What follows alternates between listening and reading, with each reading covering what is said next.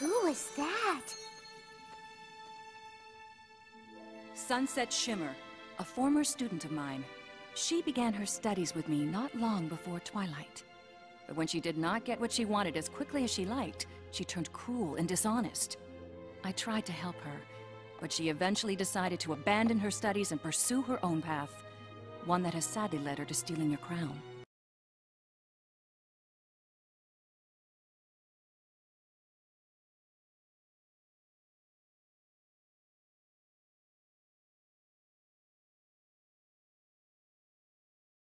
She replaced Twilight's with this one. I suppose Sunset Shimmer thought you wouldn't notice right away that this was not yours. And by the time you did, it would be too late to go after your crown and element of harmony. But I don't understand. Where did she go? Where did she take the crown? You'll soon know more about this place than even I do.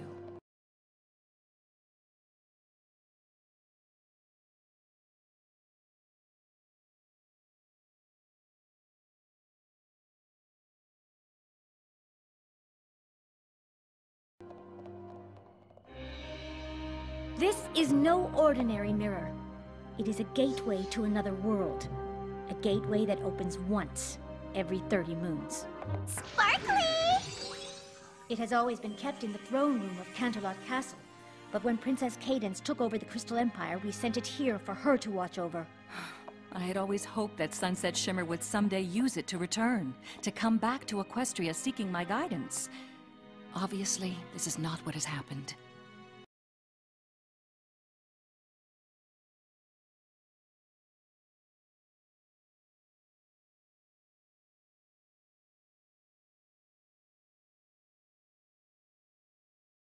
Twilight, you must use the mirror to go into this other world and retrieve your crown.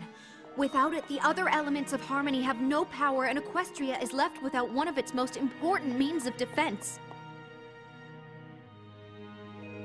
Your crown does not belong in the place Sunset Shimmer now calls home. And in her possession, your element of harmony will no doubt be used to bring harm to the inhabitants of this other realm. They will not have the power to defend themselves.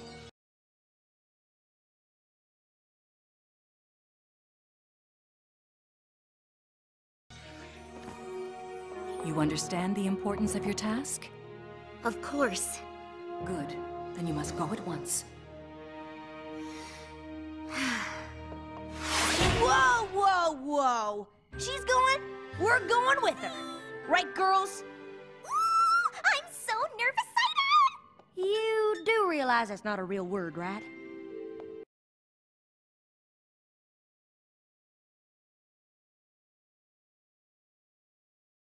I'm afraid I can't let you go.